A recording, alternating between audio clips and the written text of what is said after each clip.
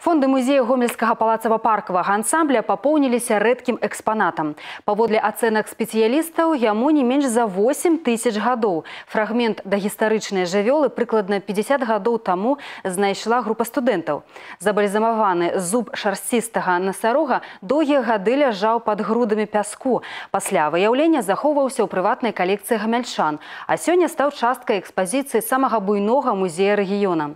Знаходка яшчэ адно пацвярджэнне сведчанне таго, што па тэрыторыі сучаснай Беларусі калісьці гулялі велізарныя маманты і шарсцістыя насарогі. Экскурс у ледніковы перыяд у наступным рэпартажы. Если мы сравним два зуба шерстистого носорога, то последняя находка, вероятно, принадлежала молодой особи. Археолог Юрый Панкоў трымае ў руках адну з самых рэдкіх знаходак за ўсю сваю прафесійную дзейнасць. Гэты зуб праляжаў у зямлі мінімум 8 тысяч гадоў, прычым належыць жывёле, якая ўжо не існуе. Зараз цяжка ўявіць, але на тэрыторыі сучаснага мельнікава луга ў гомеле калісьці пасвіліся велізарныя маманты і шарсцістыя насарогі. У ледніковы перыяд тут была нізіна, побач рака. Калі места стала абрастаць шматпавярхоўкамі, археалагічныя працы тут пачалі студэнты і маладыя гісторыкі. У іх ліку быў Уладзімир Літвінаў, Падчас раскопак менавіта ён выявіў тады практычна некранутыя часам астанкі дагістарычнай істоты шарсцістага носорога. Это было очень интересно, это, это не, необычная находка, то есть она стояла на книжной полочке. Я понимаю, что это красиво дома, это интересно, это приятное воспоминание о юности, когда ты увлекался, чем-то интересовался. Вот. Э, пришло просто время, чтобы этот, я считаю, уникальный так сказать, предмет, он просто занял свое место уже в фондовых собраниях нашего музея.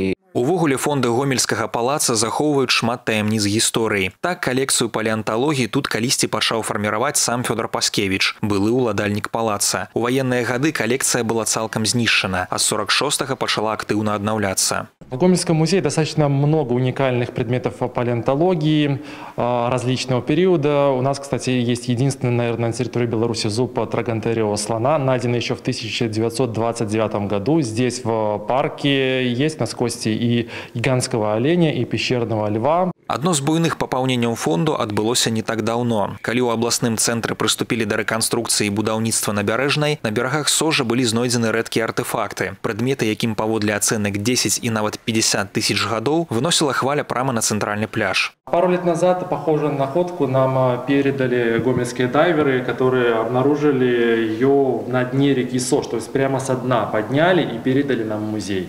Зараз калекцыя налічвае некалькі сотняў падобных артефактаў і вялікая частка гэта муміфікаваныя фрагменты зараз неіснуючых жывёл. Для навукі гэта бясцэнныя знаходкі. І што радуе амаль усё калісьці ўдар музею перадалі звычайныя гамельчане. Ганна Кавалёва, Мікалай Скінцян, тэлерадыёкампанія Гомель пры падтрымцы агенцтва тэленавінаў.